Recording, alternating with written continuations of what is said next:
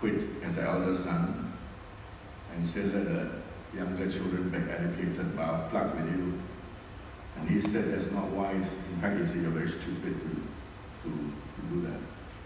And the reason he said that was because, you know, um, uh, what he's saying is that he cannot work harder than he's already worked.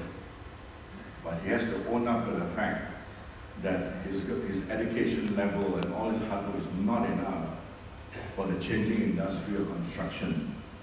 And if we don't change our way of thinking and think out of the box, we won't make it. So that is the wisest things he has ever taught me. He said, you go and show a good example to your brothers and sisters. Get yourself a good degree uh, as a civil engineer, very relevant.